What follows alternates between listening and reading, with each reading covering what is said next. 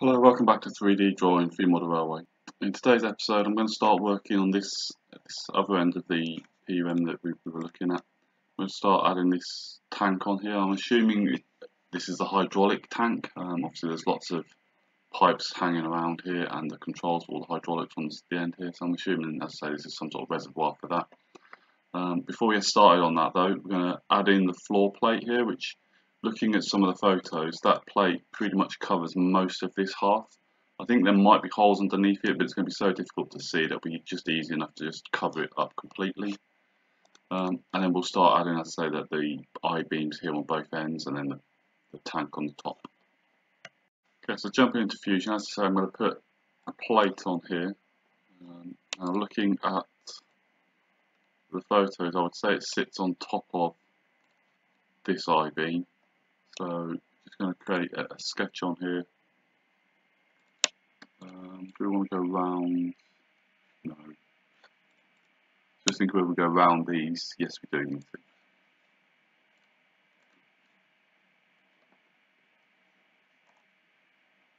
Okay, so let's project on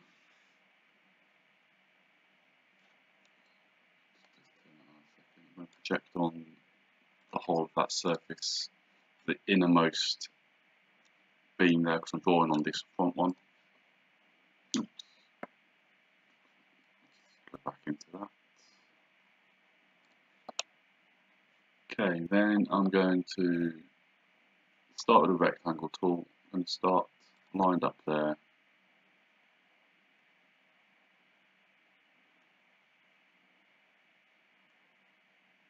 9.6 millimeters by 5.6 millimeters. Then I'm just going to draw. I'm going to project on all of these boxes as well. I'm going to just draw some, some smaller rectangles just to fill these in.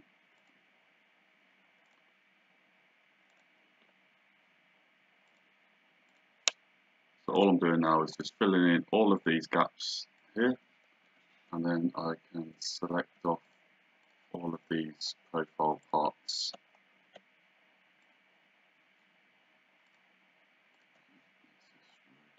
I'm holding shift down while I do this so I can get all of the parts square there. And then I'm going to extrude this I'm going to come up, in fact I'm going to go two-sided, or symmetrical in fact, I'm going to come up by 0.25, tell that to be a join, in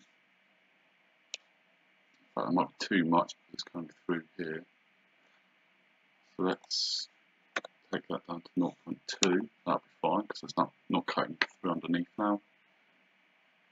So essentially I've done that symmetrical, so it's come up on the top slightly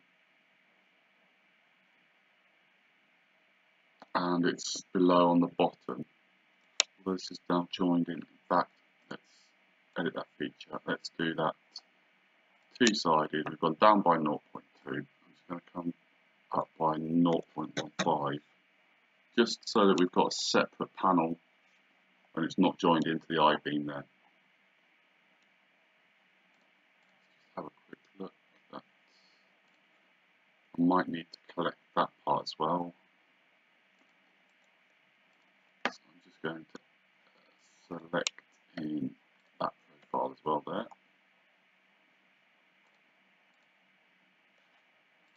Do I want this one? No, I don't. So just this last one on here and then all the rest of them. So the next thing we're going to do is get this I-beam here. And I'm going to draw that on the inside surface of this little module here. Slice through. We've already got the rectangle projected on there. I'm going to draw a rectangle in the middle. Don't want to do that, no. I'm going to draw like this. So. A little rectangle there. Put the distance from the edge to the inside. Let's go for 0.15. Change that in a minute to 0.2. We'll have a look once I've got this one on.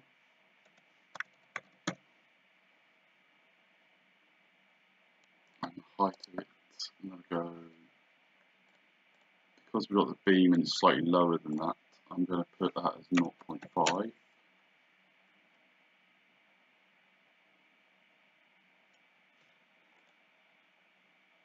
That's 0.3 mil. Yeah, I'm going to go with that actually. I'm going to put a rectangle on the top to represent this cross beam here, which is going to be longer than that. So,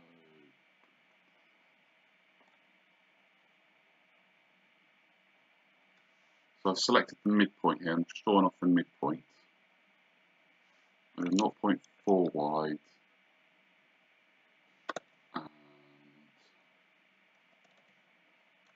0.2 high, I think.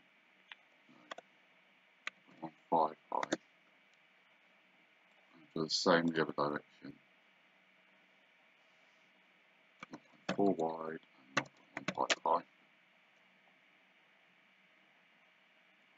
And then we can select these profiles here. And then I'm going to extrude that.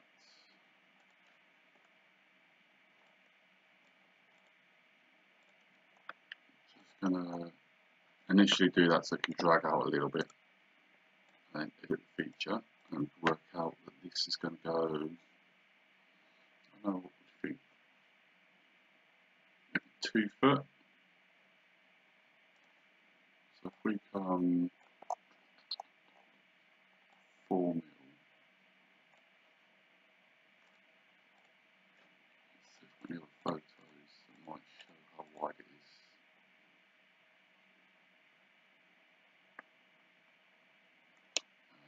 Too wide.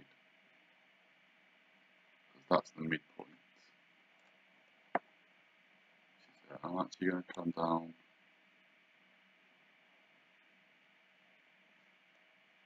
Yeah, I'm going to come to 3 millimeters.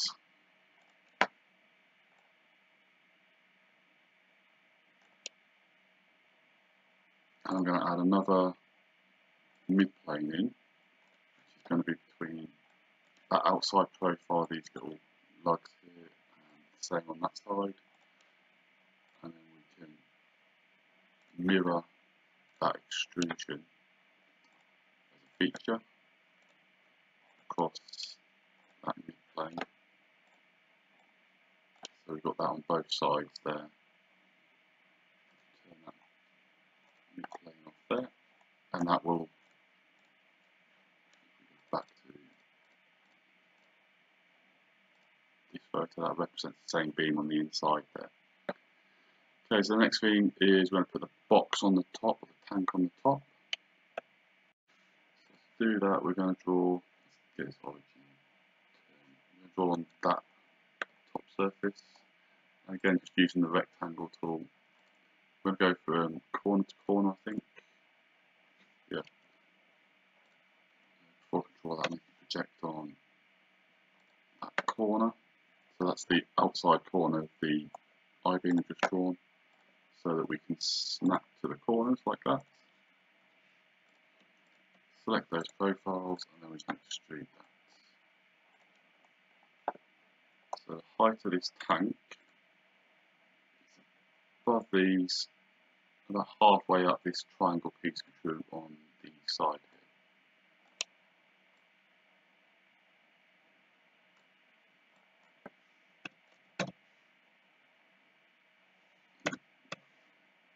I'm going to go for about 4.7 millimeters high. Join.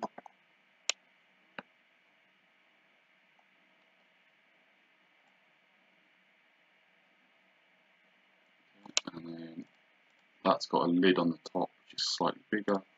So we'll just again draw on that top surface. We'll use the offset tool. And we'll go, let's go for 0.3 millimeters.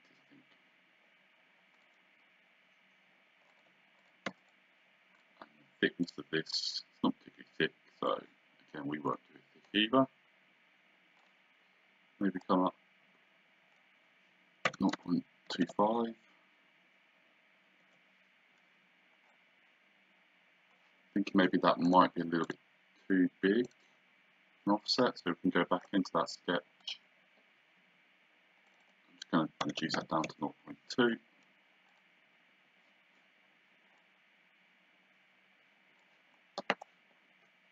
Next thing we've got the sight glass on the side here. So again, this is just a simple rectangle, probably in two pieces because the black bit looks like it's slightly smaller than the, the yellow part.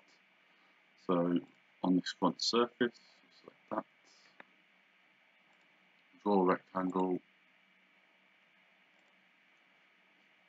use some constraints, so we're going to put the, we use the midpoint constraint, so if we select the top blue line of the, the rectangle we've drawn, and then the blue, the blue line of the lid here, that'll snap that to the midpoint, so whatever size we now make this, it will automatically snap to it. And then we can dimension that the width. Let's go for 0.3 wide enough actually going to go 0.4 I think. Okay height wise what it is at the moment. I'm going to bring that down to maybe 2 millimeters. And I'm going to extrude that. I'm only going to come out 0.1 on that. And then I'm going to do another sketch on the front surface of that. Use the offset tool. Bring that inside. So doing minus 0.1 and then we'll extrude that 0.2 let's just check we've got too many bodies here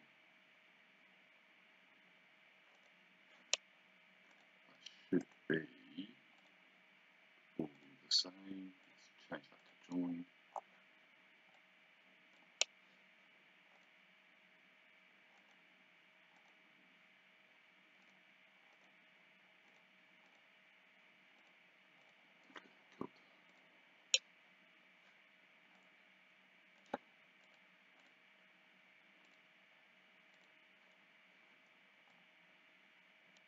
Think I'm happy with that. Okay, so the next thing I'm going to add in are these two pieces on top. This is filler cap, and this is, I think this is the return, I would assume the return um, unit for the tank. So let's draw a sketch on the top surface. Do the filler cap first. I'm just going to do a circle in the sort of front corner. Looking at the pictures, it does look like it's in the front front corner here. We'll go for 0.6 in diameter initially, and we'll dimension from the front edge 0.65 and side edge. We'll go for the same. Extrude it up maybe 0.2 and then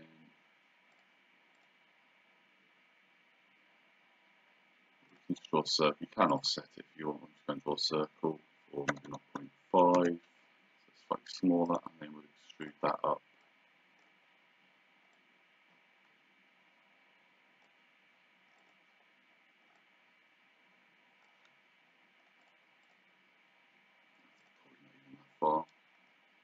To actually reduce this one down slightly.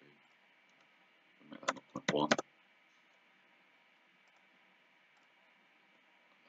go for 0.4 and what we'll do is we'll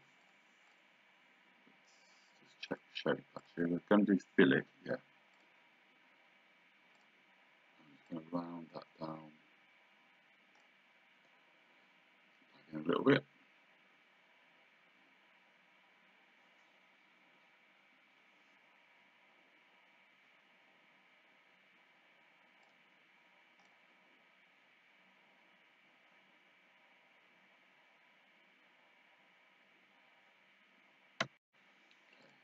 Got rid of that error. So going to round that down. I'm going to come down maybe 0.1 just to give it a curve of top surface. Actually, I might reduce that down to 0.4. Make it a little bit smaller there. Box at the back, I'm not going to go super detailed with it because again it's tiny. It's not really going to be that noticeable, but we're going to go a rectangle on the back here. This, I'm thinking I'm going to go 0.8 square. We can stick some dimensions of 0.2. And I'm going to go slightly further over, I'm going to go 0.4 over.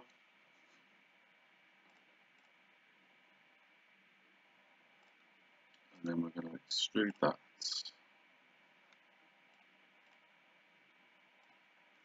0.2 and we go slightly smaller.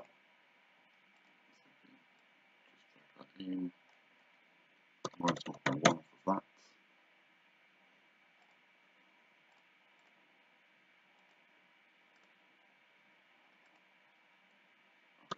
two onto that and then we can make that offset again 0.1. Select those profiles. And we're 0.2 on that again.